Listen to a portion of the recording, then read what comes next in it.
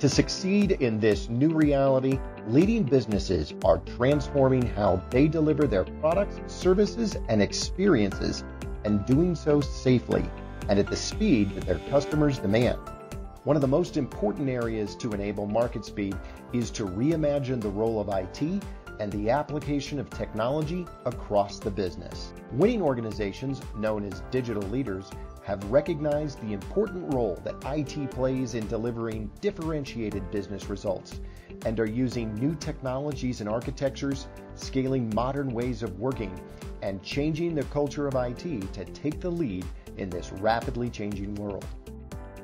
There is a growing digital divide between organizations that are successfully accelerating their digital business transformation and those that are struggling to keep pace. For organizations to thrive in the new reality, they need an agile, flexible, and scalable IT operating model, which has the capability to deliver technology at speed.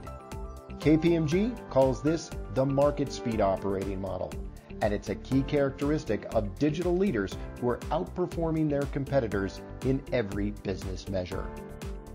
We've found five enabling capabilities that leading CIOs invest in when building the market speed operating model, enabling them to innovate faster, reduce cost, increase efficiency, and better connect with their customers through integrated front, middle, and back office. To deliver these kinds of business results, the CIO needs to build an IT operating model that exhibits an IT workforce strategy that matches the evolving technology skills with organizational growth while creating a leadership culture that accommodates changing employee expectation and new ways of working, leverages modern delivery techniques like DevSecOps, Agile at Scale, and product management to accelerate and continuously enhance innovative designs and quality delivery.